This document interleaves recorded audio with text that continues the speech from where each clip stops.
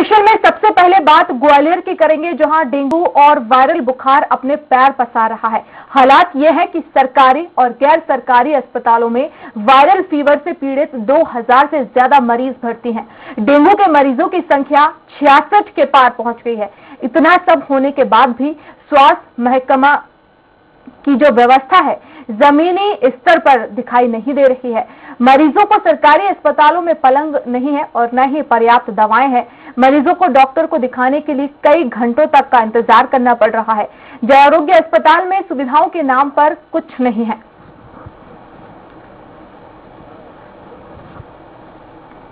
आराम से दो दिन से परेशान हो रहा हूँ। अच्छा। दवा के लिए क्या फ्रैक्चर के लिए तो मांझे कहते हैं कि सामान नहीं है हमारे पास। जो प्रोटोकॉल है जो गवर्नमेंट की गाइडलाइन है उनके अनुसार जो बच्चे भर्ती होते हैं या जिनमें उसके संभावित लक्षण होते हैं जैसे कि की जो गाइडलाइन है जो संभावित मरीज़ होते हैं उनका कोविड कराया जाता है। के अलावा जो हमारी टीमों का गठन है आ, वो भी कर रहे हैं। पंद्रह तारीख से जो अभियान शुरू होना है उस पर भी सभी का फोकस रहेगा। आपके माध्यम से भी सभी लोगों से अपील है कि उनके घरों में कहीं पे भी पानी भरा हुआ है तो उसको वो तुरंत हटा दें साफ़ कर दें। इस तरीके से हम लोग जो है उसको टेकअप कर सकते हैं।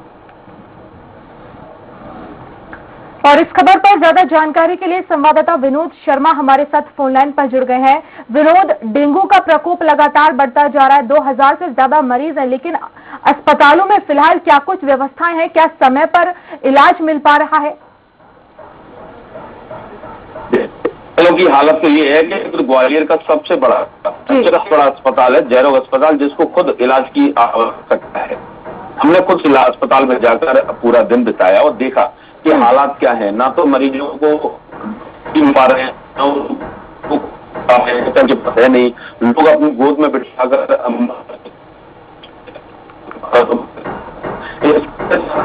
की जी। शिकायत कर रहे हैं विनोद आपकी आवाज़ हम तक क्लियर नहीं पहुँच रही है। कृपया आप थोड़ा सा नेटवर्क में आने की कोशिश करें। जी बिल्कुल। जिस तरह से जैसा कि मैं आपको बता जो जयरोग अस्पताल है उसकी हालत बेहद खराब है। विनोद आप बने रहिए आपसे आगे अपडेट्स लेंगे लेकिन अभी कांग्रेस प्रवक्ता इस वक्त हमारे साथ फ़ोन लाइन पर जुड़ गए हैं। धर्मेंद्र शर्मा जी बहुत स्वागत है आपका स्वराज एक्सप्रेस में। नमस्ते बक्ता जी नमस्ते। धर्मेंद्र जी आपसे जानना चाहेंगे जिस तरह के हालात अभी हैं डेंगू का प्रकोप लगातार बढ़ता जा रहा है अस्पतालों में व्यवस्थाएँ नहीं है किस तरह से देखते हैं आप इसे? आपने देखा होगा कोविड काल में हम्म। ग्वालियर में और 10 अप्रैल से लेकर 15 मई तक लोगों ने अपने प्रियजनों को खोया वेंटिलेटर के अभाव में हम्म। ऑक्सीजन के अभाव में दवाइयों के अभाव में। ब्लैक फंगस का एक इंजेक्शन पूरे ग्वालियर में नहीं मिला जिसके लिए एक लड़की ने सोनू सूद तक गुहार लगाई। वहाँ से इंजेक्शन आई। ये हालत प्रदेश की सरकार की है। हम्म। वो इसे- उससे सीख ना लेते हुए प्रदेश सरकार ने आज भी जिस समय डेंगू मलेरिया और वायरल फीवर जिसे हम्म। हाई फीवर का नाम दिया गया उसके कारण आज पूरा शहर त्राई त्राई कर रहा है। हर घर में दो चार मरीज़ आपको मिल जाएँगे। उसके बावजूद जिला प्रशासन हो या मध्य प्रदेश सरकार हो उनके कानों में क्यों नहीं रेंग रही है कि वो इस व्यवस्था को दुरुस्त करें? मतलब हम्म। पहली गलती से सीख ना लेते हुए फिर से वही गलती दोहराने का काम आज भाजपा सरकार कर रही है। इनकी स्वास्थ्य व्यवस्था पूर्ण रूप से चरमरा चुकी है। जायरोग अस्पताल में तो दलालों का बोलबाला है। वहाँ तो आप देखेंगे वर्षा जी कि एंबुलेंस वाले दलाली करते हैं मरीज़ को लेकर प्राइवेट वहाँ से लेते हैं और प्राइवेट हॉस्पिटल में अच्छे इलाज के नाम पर हम्म। शिफ्ट कराने का कमीशन लेते हैं और हम्म। उसमें जयारोग प्रबंधन और यहाँ का लोकल स्टाफ भी शामिल है बिल्कुल धर्मेंद्र जी देखा जाए तो आप विपक्ष में है विपक्ष की भूमिका भी अहम होती है और लगातार आपकी तरफ़ से ग्वालियर में प्रदर्शन भी किए जाते हैं जिस तरह से ये तमाम आरोप आप सरकार पर लगा रहे हैं इस तरह क्या आपने कुछ एक्शन लिया है क्योंकि आपको भी पता है कि अस्पतालों में किस तरह के हालात हैं तो क्या आपकी तरफ़ से प्रदर्शन किया गया? सरकार तक कैसे आपने आवाज़ पहुंचाई?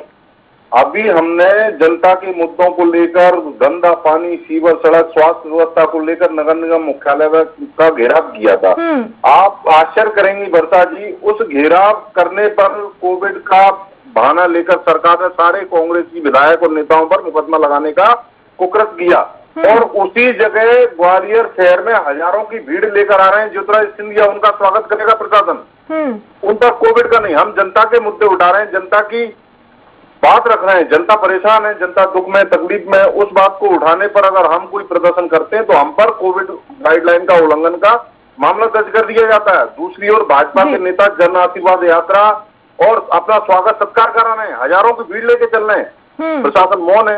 एक शहर में, एक प्रदेश में, एक देश में दो कानून चल रहे हैं। ये भाजपा सरकार की अराजकता का प्रमाण है और अब जनता इनको आने वाले समय में विदा करने का काम करेगी, कालामू करने का काम करेगी। हम्म। बिल्कुल धर्मेंद्र जी देखिए आपकी तरफ़ से आरोप लगातार लगाए जा रहे हैं लेकिन अब देखना यही है कि आप क्या कुछ एक्शन लेंगे क्योंकि आखिरकार प्रदेश में जो अभी हालात हैं बुखार का प्रकोप है ऐसे में क्या कुछ और आप अगला कदम उठाएँगे? क्योंकि आखिरकार जो लोग हैं जो मरीज़ पंद्रह हैं वो परेशान हो रहे हैं उन्हें समय पर इलाज नहीं मिल रहा। वर्षा जी हमने जिला प्रशासन को पंद्रह दिन का अल्टीमेटम दिया था कि अगर हम्म। पंद्रह दिन में आपकी व्यवस्थाएँ दुरुस्त नहीं हुई तो हम बड़ा प्रदर्शन दस हज़ार लोगों के साथ जिला कलेक्टर का और कमिश्नर मुख्यालय का घेराव करेंगे। जी। अब अगर जिला प्रशासन नहीं चेतता आने वाले समय में अगर जिला प्रशासन 22 अप्रैल को ज्योतिराज सिंधिया की जो प्रस्तावित स्वागत रैली है उसको अगर करता है हम्म।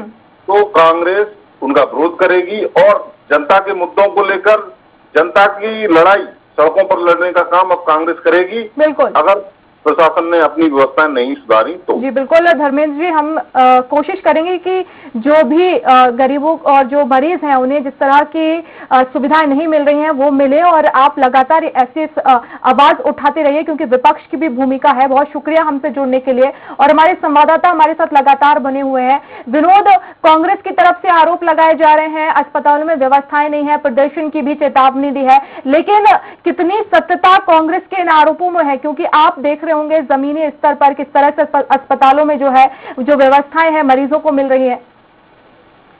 देखिए मैंने आपको जैसे पहले बताया था कि हम्म। अस्पतालों की हालत बेहद खराब है। चाहे वो जैरव अस्पताल हो जिसमें अंचल के आठ ज़िले तो आते ही है इसके अलावा अन्य राज्यों से भी लोग यहाँ पर आते हैं। हम्म। साथ ही जिला अस्पताल है उसकी भी बेहद स्थिति खराब है।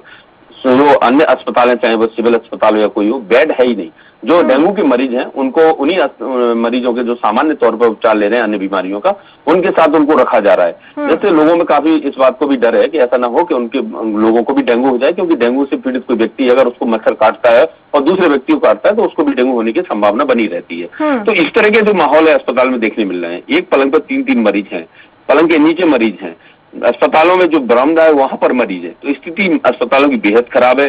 जो यहाँ पर एक हज़ार का बिस्तर का अस्पताल बनना है उसको बन जाना चाहिए था पंद्रह अगस्त तक। उसको सुपुर्दगी में हो जाना चाहिए था जिससे बिल्कुल हम देख रहे हैं लगातार हालत चिंताजनक है बुखार का प्रकोप है लेकिन अभी तक स्वास्थ्य व्यवस्था पूरी तरीके से जो है दुरुस्त नहीं हुई है। लोग परेशान हो रहे हैं। और बहुत शुक्रिया इस जानकारी के लिए।